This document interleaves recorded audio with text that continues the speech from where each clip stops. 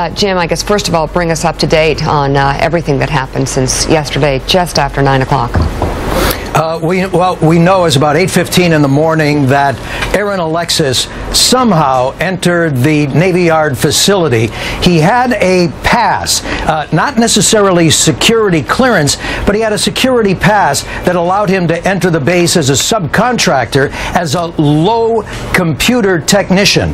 Now, once on base, he confronted a one of the base police officers, shot him, and grabbed his service revolver. But the big question being asked today is how did Alexis uh, get on that base with at least one weapon, perhaps two?